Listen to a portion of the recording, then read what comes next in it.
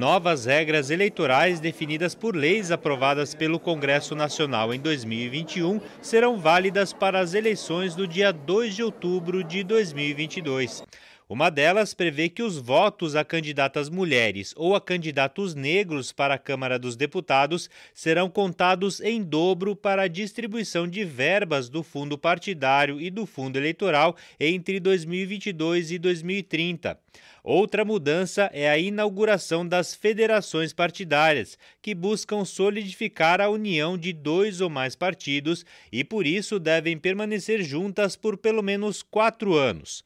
As federações têm abrangência nacional e devem possuir um estatuto próprio, com regras sobre fidelidade partidária e sanções a parlamentares que não cumprirem orientação de votação, por exemplo. As federações foram criadas tendo em vista que ah, as coligações foram proibidas no processo, legislativo, no processo legislativo com a reforma eleitoral, ah, vindo as federações para que houvesse um ou mais partidos pudesse se unir, aproveitando toda a, a, essa, essa força política para que eles pudessem daí juntos participar de um processo eleitoral de forma, embora coletiva, mas para alguns fins é, unificados.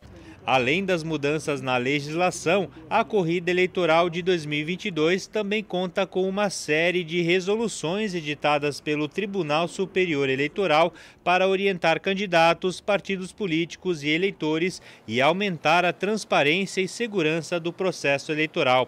Entre elas está a unificação do início e fim da votação pelo horário de Brasília em todos os estados e no Distrito Federal. Assim, a votação começará às 8 horas e terminará às 17 horas, quando serão impressos os boletins de urna.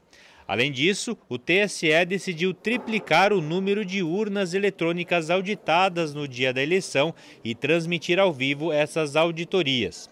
No intuito de demonstrar para a população, tanto catarinense do Brasil, de transparência das urnas eletrônicas, é a apuração é, das auditorias de forma ao vivo, transmitidas de forma ao vivo, durante todo o processo eleitoral. E para tratar das principais questões sobre esse tema, será realizado entre os dias 18 e 20 de maio o oitavo Congresso Catarinense de Direito Eleitoral.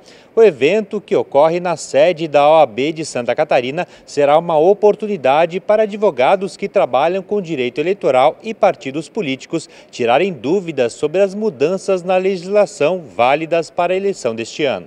Trazer é, ao debate temas importantes, como fake news, como as novas resoluções do próprio TSE, no sentido de apuração de voto, é, prestações de contas, as federações, temas que estão latentes no, no, no, no Brasil, nessas eleições, e que têm. É, através dessa gama de operadores e de debatedores, a, a, a possibilidade de trazer esclarecimentos para o processo eleitoral.